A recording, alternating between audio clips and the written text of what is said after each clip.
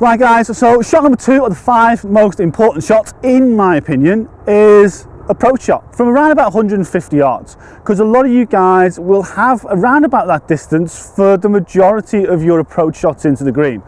Now, if you were asked the question, where would you want to be?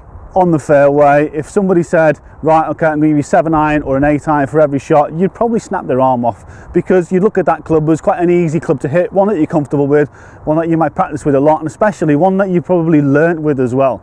So this shot should be theoretically easier for you, but it's surprising how often greens are missed, club selection is wrong, and a lot of the, the nice attention to detail is required to execute this shot successfully goes amiss. So let me run you through.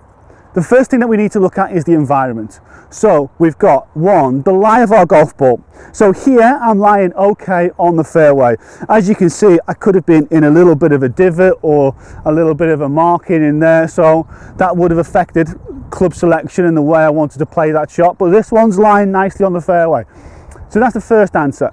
Number two is what is the terrain of the ground like down there where the ball is going to land.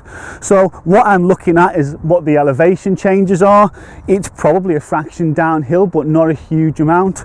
Um, I'm looking at how big the green is. So you know where is there any water in there where are the bunkers all those kind of things are going to take into account is there a false front on the green where the danger is at the back of the green then we've got to think about the, the weather. So wind direction, at the moment, the wind direction is coming pretty much directly downwind.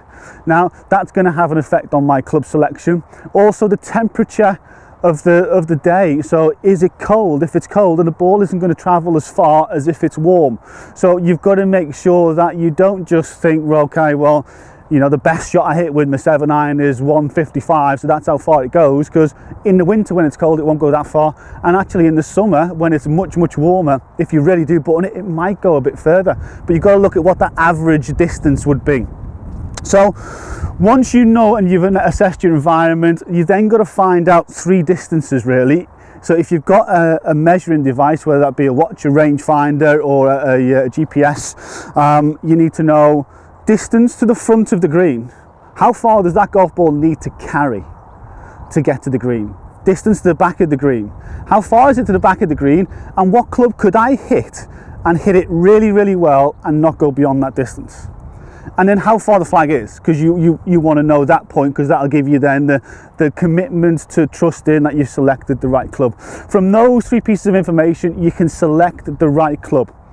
From selecting the right club, it's then down to the intention that you want for the shot. And by that, I mean shot shape you're going to hit.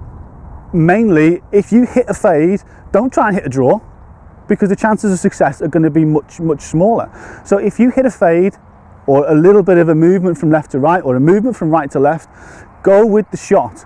Trust that shot and then you can predict the movement pattern of what is going to happen. So once you've got your intentions of the shot, you've surveyed the terrain, you've got the environment in there, you've measured your distance, now you can go and select your club.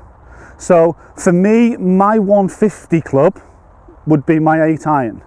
Now, if I hit 9 iron, which is about 135 for me,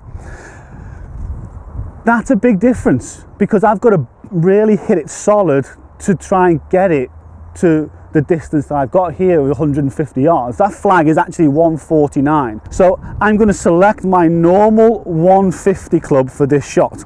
And all I'm going to do is I'm going to go down the grip a little bit and swing it the same because that's going to just take a little bit of that distance off it. So I know if I take a bit of that off it by going down the grip, I can hit this shot solid and I'm still not going to hit it over the back of the green. I'd have to be unlucky and really find the true sweet spot of the club, which is about the size of a pinhead, to really get anywhere near the back of the green.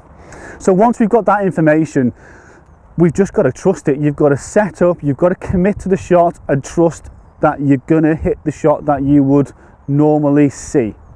So commitment to it, don't try and guide it, don't try and steer it, don't try and take a little bit off it or don't try and hit it too hard. You've selected the right club by surveying all of the questions that are being asked to you by the golf course. So go out there, commit to the shot. So let's sing. So I've got the wind at my back, as you can probably see, it's blowing a little bit on the shirt. I'm gripping down, so I'm bringing my hand down there by around about of an inch. I'm taking aim, and I'm just going to trust it and put a nice smooth swing on it.